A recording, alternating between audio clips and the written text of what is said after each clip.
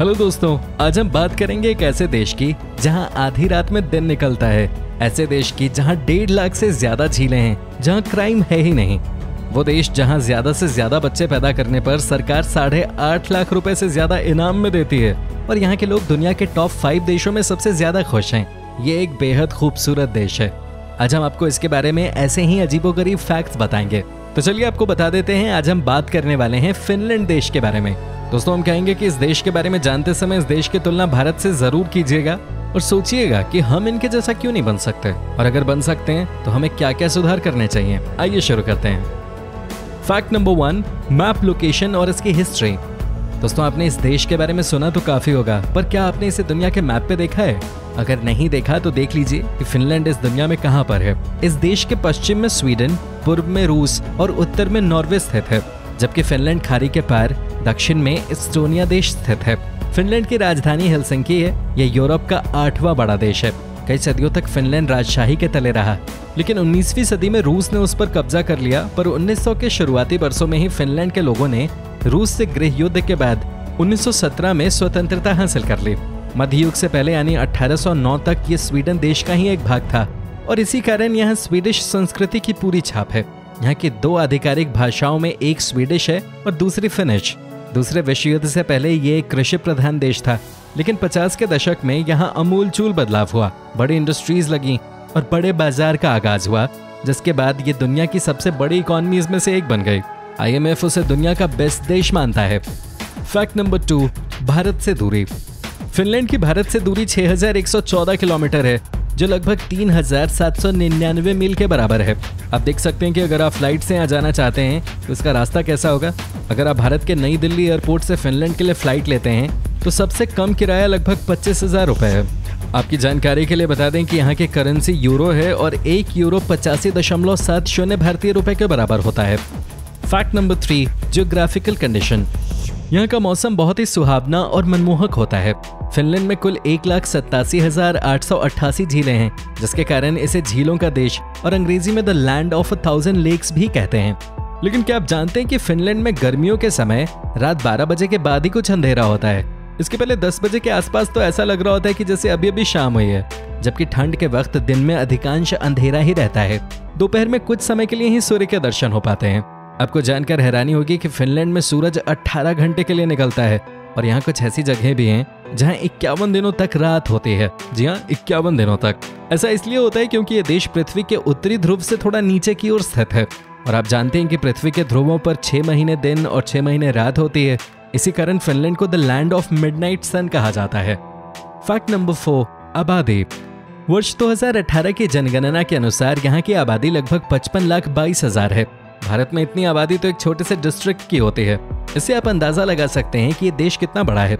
इस देश के ज़्यादातर लोग दक्षिणी क्षेत्र यानी एस्टोनिया देश की तरफ़ रहते हैं। क्षेत्रफल के हिसाब से ये यूरोप का आठवां सबसे बड़ा और घनत्व के आधार पर यूरोपीय संघ में सबसे कम आबादी वाला देश है।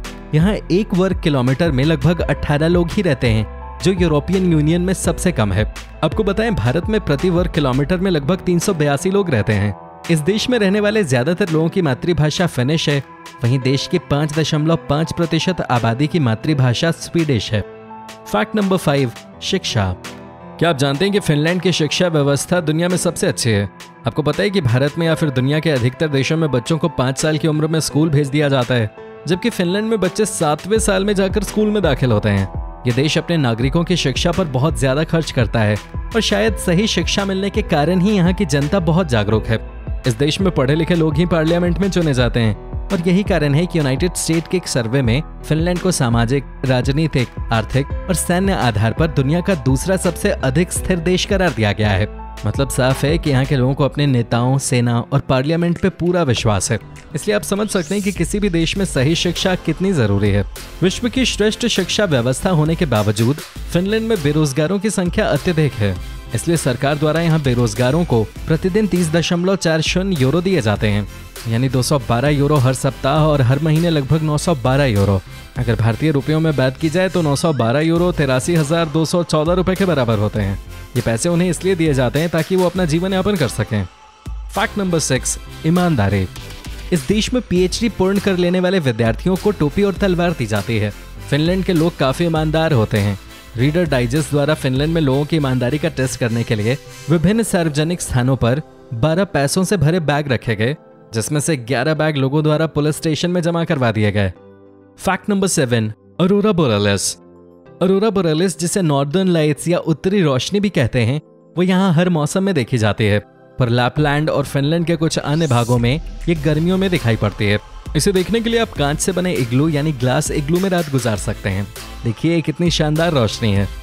Fact number eight crime rate ये दुनिया का सबसे स्थिर और सुरक्षित देश है। वर्ष 2015 में यहाँ मर्डर रेट एक लाख की आबादी पर केवल एक दशमलव दो आठ फ़ीसदी थी। वर्ष 2015 में यहाँ केवल 50 मर्डर हुए। संगठित क्राइम यानी ऐसा क्राइम जो बड़े स्तर पे होता है, वो यहाँ नौ के बराबर है।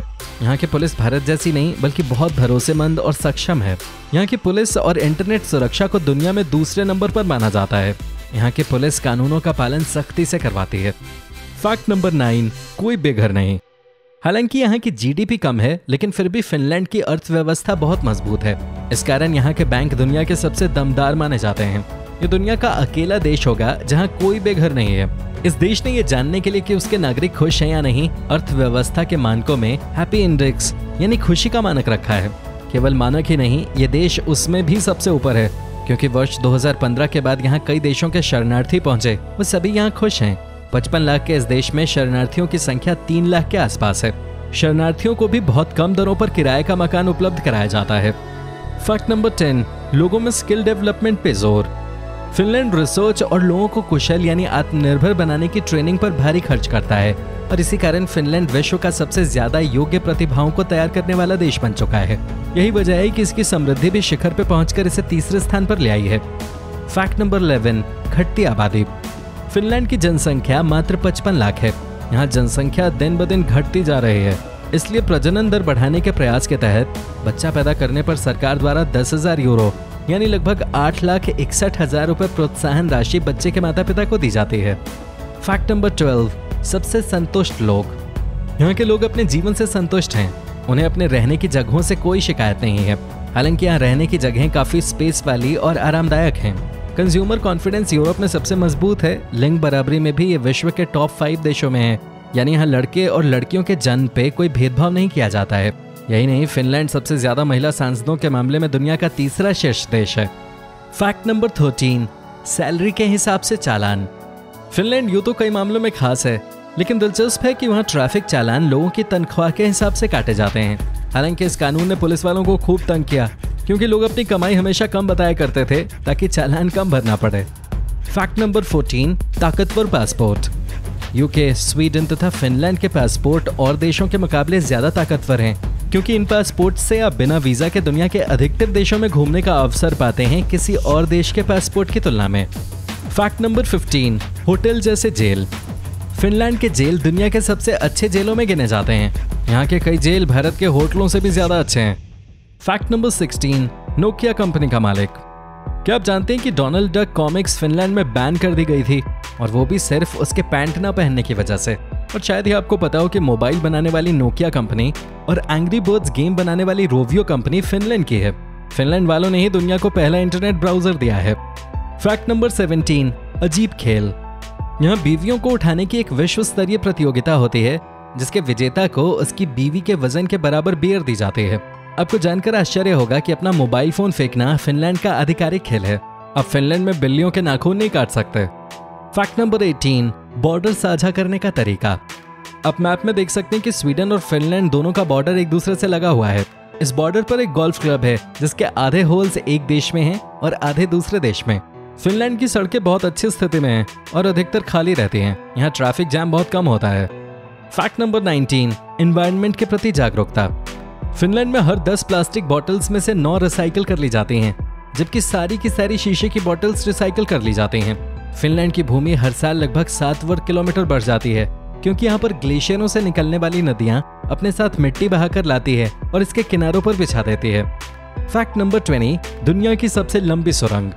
फिनलैंड की पाइजाने वाटर टनल यूरोप की सबसे लंबी और विश्व की दूसरी सबसे लंबी टनल है। इसकी लंबाई 120 किलोमीटर है।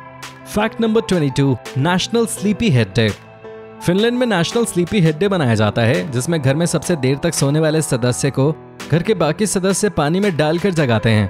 फिनलैंड वासी कॉफ़ी को सबसे ज़्यादा पसंद करते हैं। वो एक दिन में तीन से चार कप कॉफ़ी पी जाते हैं, जो उनकी लाइफ पे सकारात्मक असर डालता है। फैक्ट नंबर 23 सैंटा क्लॉज का घर। क्या आप जानते हैं कि 25 दिसंबर को मनाए जाने वाले क्रिसमस पर बच्चों के लिए गिफ्ट लाने वाले सैंटा क्लॉज या सेंट निकलस का घर यहीं पर है? चलिए अब आपको इस देश के बारे में कुछ और मज़ेदार फैक्ट्स बताते हैं। जैसे यदि आप फिनलैंड से उत्तर कोरिया पैदल जाना चाहते हैं तो आपको सिर्फ़ एक देश पार करना पड़ेगा और वो है रूस। फिनलैंड में गाड़ियों की लाइट 24 घंटे तक ऑन रखनी पड़ती है। फिनलैंड में टोल टैक्स नहीं देना होता। फिनलैंड उन देशों में शुमार है, जिन्होंने 1908 से लेकर अब तक हर ओलंपिक में मेडल जीता है। फिनलैंड को ओलंपिक में अब तक 18 गोल्ड मेडल प्राप्त हुए हैं और ये उपलब्धि इसे ओलंपिक इतिहास के सबसे सफल देशों में से एक बनाते हैं। फिनलैंड में गैम्बलिंग सरकार द्वारा नियंत्रित की जाती है। इससे होने वाली आय गरीबों में बांट दी जाती है। फिनलैंड में सरकार द्वारा 17 साल से कम उम्र के बच्चों को मुफ़्त शिक्षा और आर्थिक सहायता प्रदान की जाती है। मज़े की बात यह है कि फिनलैंड में टीवी टैक्स अनिवार्य है। इसके अलावा वहाँ कैंडी टैक्स भी देना पड़ता है। क्या आप जानते हैं कि विश्व में सबसे कम भ्रष्टाचार वाले देशों में फिनलैंड तीसरे स्थान पर है? फिनलैंड में बिल्लियों के नाखून काटना वर्जित है। ऐसा करने पर कानूनी कार्रवाई की जा सकती है। फिनलैंड के लोग सार्वजनिक स्थानों पर ज़्यादा बात नहीं करते। वे अजनबियों के साथ बातचीत में शामिल नहीं होते, बल्कि शांत रहना पसंद करते हैं। तो दोस्तों, ये थी जानकारी फिनलैंड के बारे में। आपको जानकारी कैसी लगी, हमें कमेंट बॉक्स में ज़रूर बताएँ।